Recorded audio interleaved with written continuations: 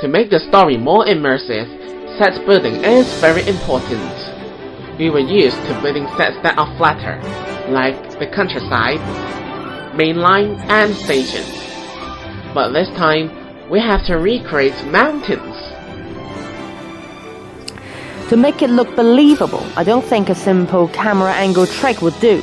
So as you can see, I've built physical inclination with a little plastic board I found lying around in my home and some boxes or any items underneath for support. We try to keep the sets realistic and true to the original. So way before filming, we researched on the illustrations and real locations in order for the sets to base on.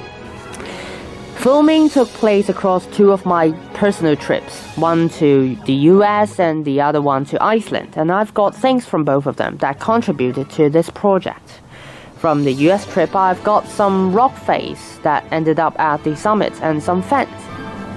And as for from Iceland, I've got some rocks back, and you can just see them casually lying everywhere. In addition to these sets, we also need dioramas for close-ups like Awdry's home and the manager's office. Two sets actually utilize the same sheets for walls, just flipped over. That's why you always view the home from the right and the office from the left. I just love adding little details and Easter eggs in these sets, and they were just so much fun to build. As for the figures, the Reverend Awdry was made for the finale of our season 1 while the manager was specifically made for this special, as all of his scenes involves him only sitting on his desk. He actually only has an upper body.